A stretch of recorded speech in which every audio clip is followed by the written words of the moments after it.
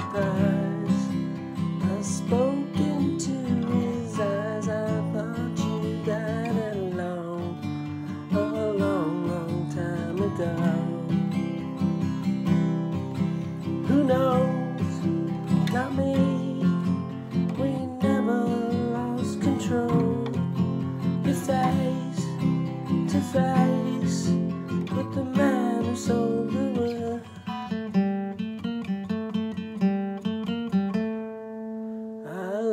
and shook his hand.